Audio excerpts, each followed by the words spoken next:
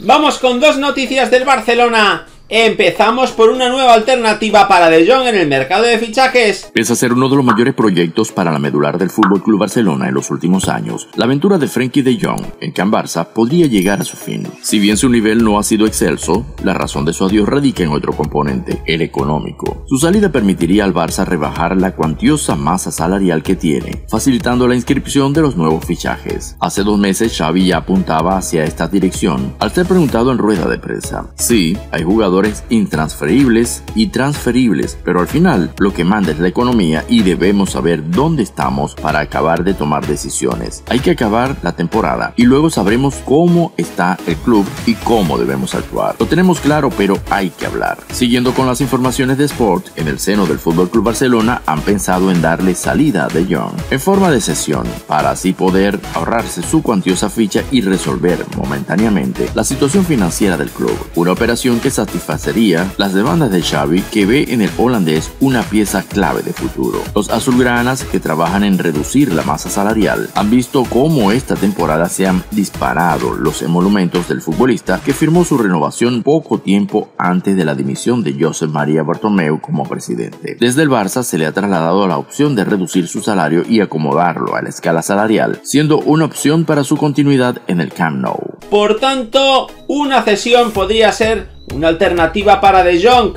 que se ha cerrado en banda en lo que se refiere a su posible traspaso por el Manchester United. Vamos a hablar ahora de Jules Koundé, que ya se hizo oficial, es jugador del Club Barcelona.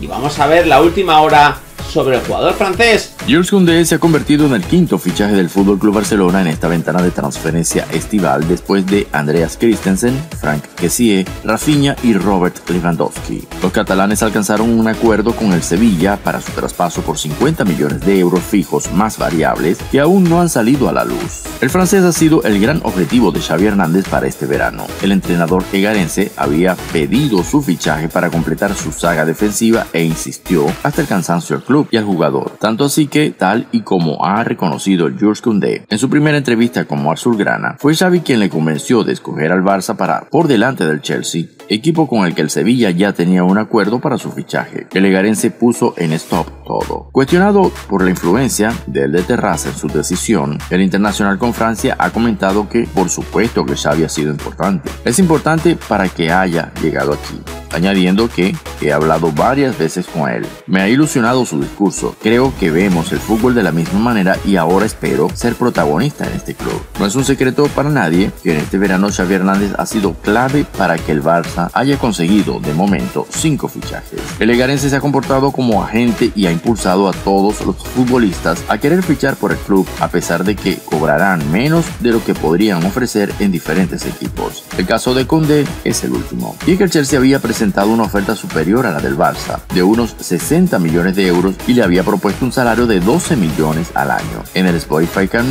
cobrará la mitad, según diversas informaciones, pero su voluntad se ha impuesto en todo momento para rechazar al conjunto inglés y esperar la oferta de los culés que llegó a principios de esta semana. Por tanto, estas han sido las primeras palabras de Condé como jugador culé.